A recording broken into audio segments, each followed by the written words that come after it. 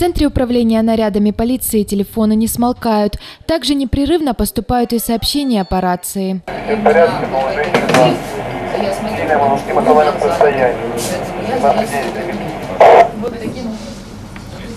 Э, Спросите, нуждается ли она в медицинской помощи или нет. Дальше действуйте по ситуации.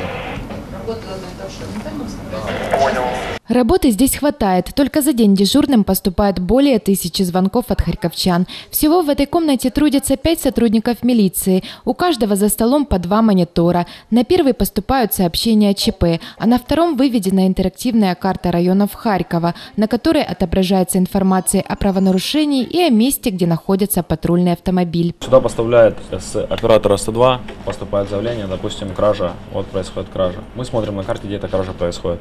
Вот оно автоматически показалось, где кража. Я смотрю, где ближайший снаряд находится по этой краже. Вот есть ближайший снаряд, я вызываю его сюда. Реакция, ну, от нас зависит все, что очень быстро реагирует полиция. Мы вызываем СО-группы, поэтому буквально за две минуты он приезжает на кражу. Чем быстрее приезжает патрульная машина, следственно-оперативная группа на кражу, тем, соответственно, быстрее можно да, раскрыть преступление и поймать правонарушителя. Вот он приехал сюда, вот мне показывают, что он прибыл за... Он прибыл за 20 секунд на место преступления. Это очень хороший результат. Информацию о правонарушении, как и ориентировку по преступнику, полицейский экипаж за считанные секунды получает на свой планшет, который также является еще и GPS-навигатором. На те же планшеты из единого центра отправляется ориентирование на э, преступника, который совершил преступление. При э, угоне автомобиля ориентировка на э, угнанный автомобиль.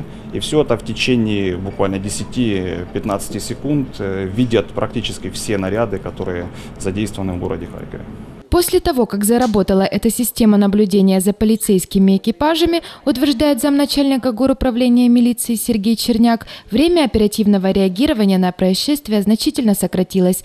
Теперь, говорит, вместо привычных 30 минут харьковские копы приезжают на место всего за 5. Время оперативного реагирования на события у нас сократилось с получаса до 5 минут. Ну, вы знаете, в первые же сутки, благодаря совместной работе патрульной службы, оперативному прибытию на место происшествия по Коминтерновскому районе удалось там совместно с сотрудникам уголовного розыска, райдела и патрульной службы полицейской раскрыть тяжкое преступление убийства.